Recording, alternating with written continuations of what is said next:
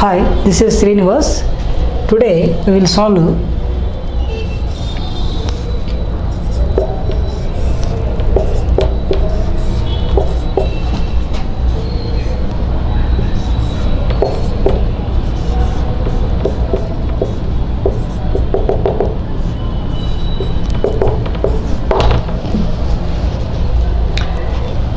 if the problem is like that square root of 5 root of 5 root of 5 root of 5 root of 5 to infinite.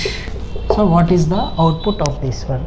If the problem is like that and it is the value is it is reaching to infinite value then always the output is the number under under this root itself right? The output is 5 okay?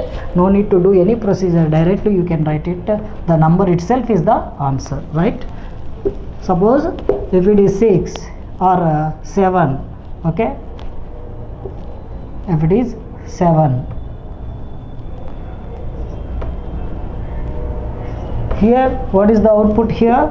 7 okay? No matter whatever the number the number itself is the answer for this type of problems. Okay?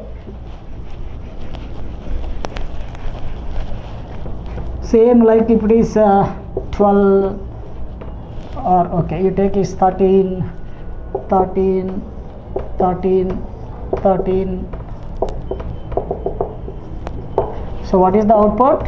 13 itself right so i hope you understood well. If you like this video share it and subscribe it. And our channel is uh, a learning room and our website is www.alearningroom.com thank you very much